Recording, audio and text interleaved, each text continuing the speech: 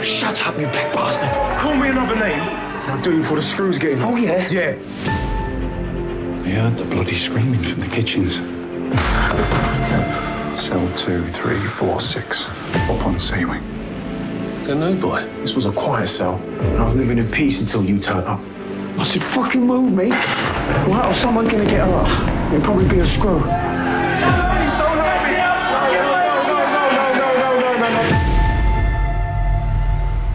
Well, gone fucking done it now, haven't I?